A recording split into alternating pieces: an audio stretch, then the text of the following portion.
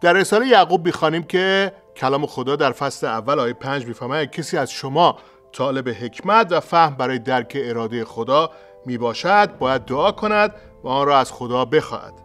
زیرا خدا خرد و حکمت را به او که از او درخواست کرده سخاوتمندانه عطا می کند بدون که او را سرزنش بکند. ما در دنیای زندگی می کنیم که خیلی چیزا ما را سرزنش می‌کنن. خیلی عواقب خیلی مسائلی که در زندگی ما به وجود اومده ما رو به جای میرسونه که فکر می‌کنیم کسی ما رو دوست نداره. ولی کلام خدا ما نشون میده که اگر ما با مشکل رو برو میشیم و نزد خدا میریم او ما کمک می‌کنه که حکمتی که از آسمان میاد ما رو از این شرایط عبور بده. حکمت خدا کلیدی هستش که هر دری رو در زندگی ما باز می‌کنه.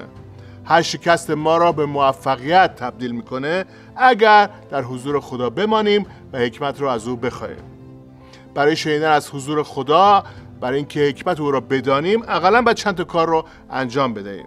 اول اینکه کل مشکل خودمان را به حضور خدا بریم ما در دنیای زندگی می‌کنیم که مشکلات ما را احاطه کردن.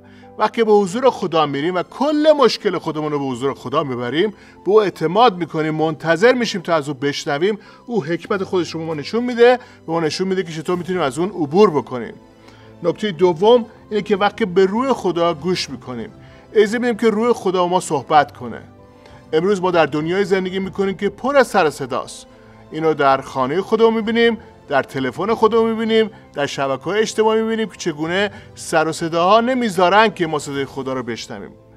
اما وقتی در حضور خدا میمانیم منتظر میشیم که روح قدس با ما صحبت کنه آن موقع است که متوجه میشیم که نتیجه که او برای مشکل ما داره کدوم هستش.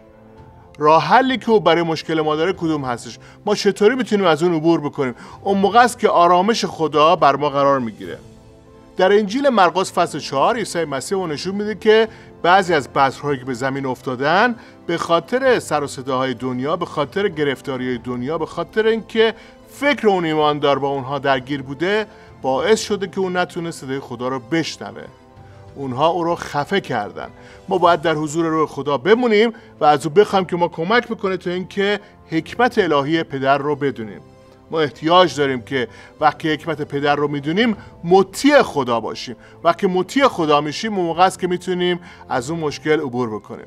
بیاید با من متحد بشیم با هم دیگه بگیم. خداوند من تصمیم می‌گیرم از همه الان که به صدای تو گوش بکنم به فرمان تو گوش بکنم و تصمیم می‌گیرم که از تو اطاعت بکنم. و حاضرم که هر تغییر و تبدیلی در زندگی من لازم هست رو بپذیرم. در نام عیسی مسیح آمین.